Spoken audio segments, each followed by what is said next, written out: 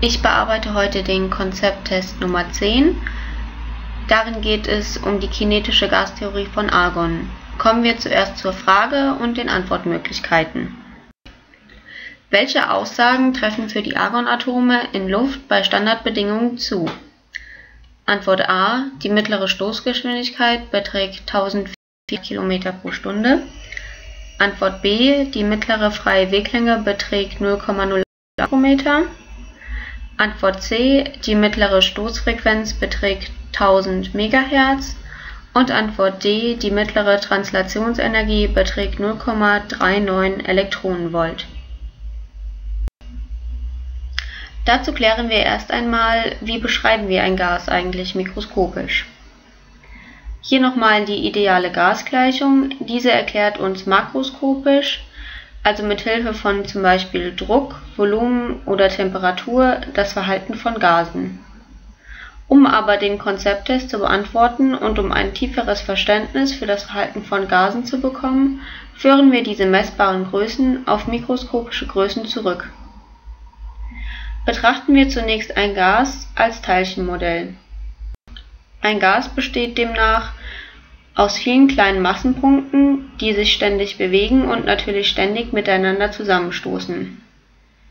Dabei sind die Teilchen an sich vernachlässigbar klein, da ihr Durchmesser viel kleiner ist als der zurückgelegte Weg zwischen zwei Stößen. Während sich die Teilchen bewegen, ändert sich aber Energie und Geschwindigkeiten permanent, daher werden die Größen später auch immer im Mittel angegeben. Kommen wir nun zur eigentlichen Berechnung der mikroskopischen Größen. Zuerst die mittlere Translationsenergie. Sie ist sozusagen die molekulare Bedeutung der Temperatur.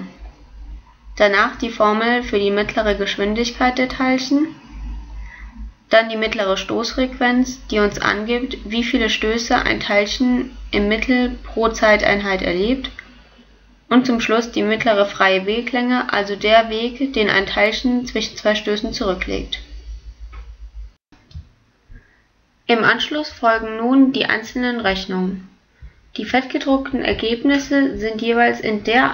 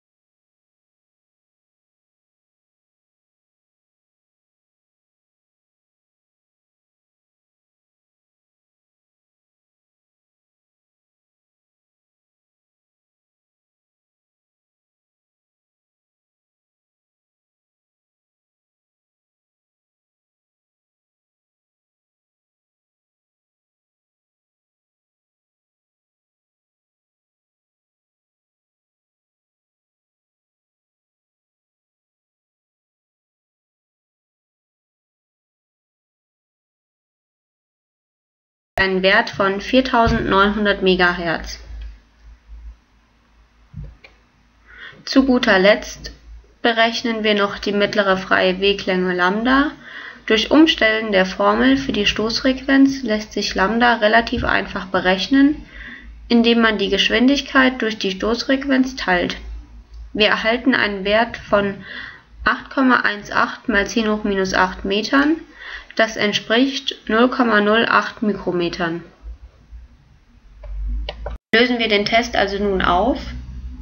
Antwort A, die mittlere Stoßgeschwindigkeit, ist also richtig. Antwort B, die mittlere freie Weglänge von 0,08 Mikrometern, ist auch richtig. Antwort C ist jedoch falsch und Antwort D ist auch falsch.